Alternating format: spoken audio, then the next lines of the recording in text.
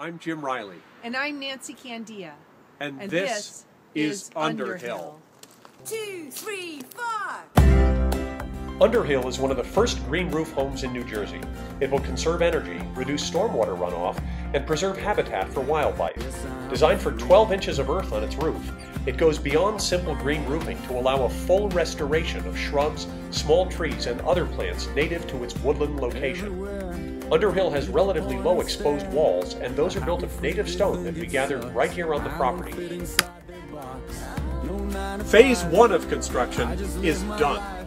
It included excavation, rock splitting, wall footings, temporary electric, most below grade walls, joists for the bedroom floors, backfill, most above grade walls, living room roof, and main roof beams. Yeah, you need big ones when you're going to restore the land on top of your house. And then we put the name stone over the front door. Underhill. The six days of construction that I have done in the past at Underhill has prepared me to be the Broadway actor that I am. I'm here on the set of A Time to Kill, and I wouldn't be here without the work that I did at Underhill. I move furniture like nobody else.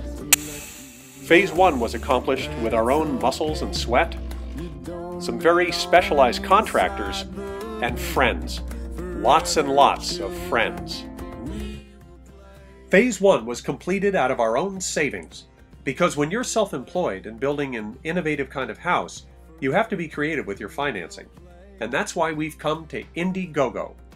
Phase two will take $80,000 to complete, and we can't do it without you.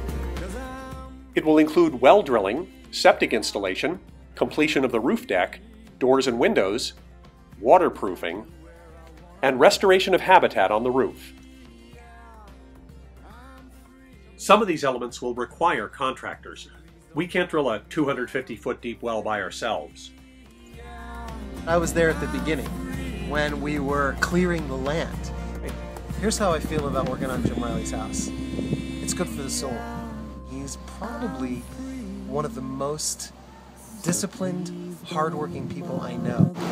By supporting Underhill, you're building a house that conserves energy, minimizes stormwater runoff, reduces the urban heat island effect, and maximizes habitat for plants and animals.